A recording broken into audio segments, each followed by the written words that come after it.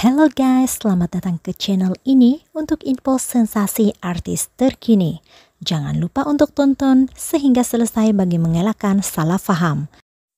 Sebelum itu, jangan lupa tekan like, komen, dan share video ini. Bagi Anda yang belum subscribe, sila subscribe channel ini. Thank you, selamat menonton.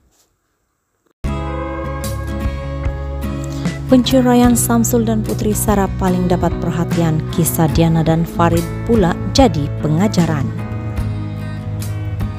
Babak turun naik Mahkamah Syariah melibatkan kes penceraian pasangan selebriti antara menjadi tumpuan dunia hiburan sepanjang tahun 2023. Di sebalik kisah bahagia yang selama ini dipertontonkan kepada peminat, siapa sangka ada sengketa sehingga rumah tangga yang dibina berakhir dengan perpisahan ada di antara pasangan selebriti ini melalui pelbagai liku sebelum dapat bercerai, manakala ada pula yang memilih jalan damai demi memperbaiki rumah tangga.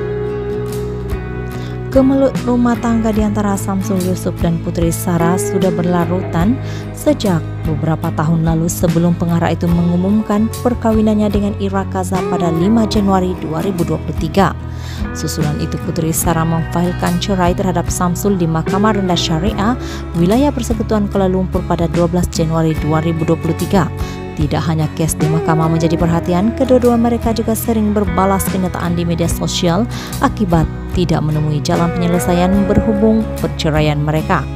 Namun pasangan itu akhirnya setuju berpisah sejak secara baik pada 14 Jun lalu. Putri Sarah dan Samsul mendirikan rumah tangga pada 8 Mac 2014 dan mereka dikurniakan sepasang sayap cahaya mata yaitu Saiful Islam dan Sumaya.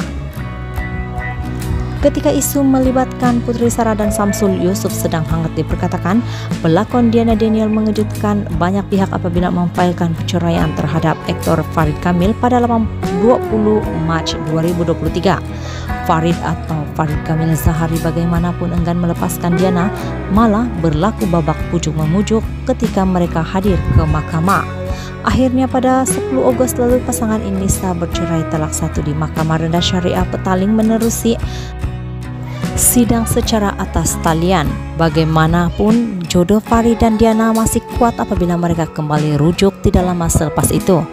Farid dan Diana mendirikan rumah tangga pada 3 November 2021 dan mereka dikurniakan dua orang cahaya mata yaitu Muhammad Nur Muhammad dan Nur Aurora 8 tahun.